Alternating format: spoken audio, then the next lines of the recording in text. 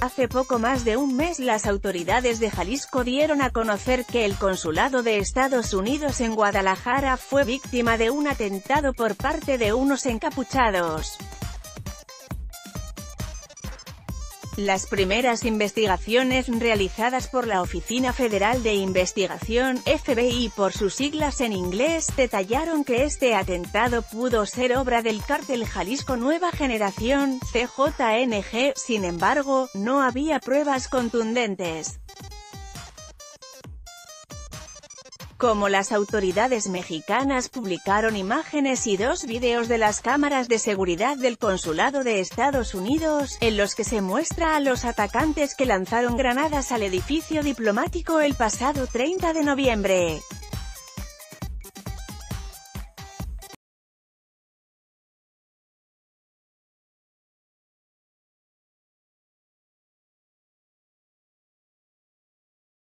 De acuerdo con la prensa, el FBI ofreció una recompensa superior a los 20 miles de dólares, medio millón de pesos, a cambio de otorgar información que conduzca a la identificación y el arresto de estos individuos que se presume que son miembros del CJNG.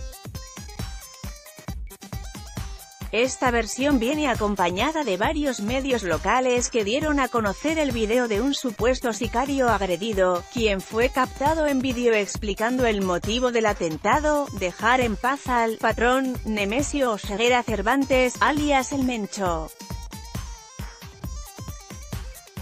Por otro lado, también se dio a conocer que la publicación de las nuevas imágenes podría ayudar a generar un efecto de choque entre los miembros del crimen organizado, pues varios elementos de grupos rivales del CJNG buscan desestabilizar su liderazgo.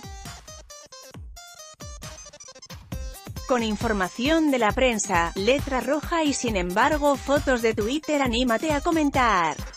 Queremos saber tu opinión. Comentarios Powered by Facebook Comments.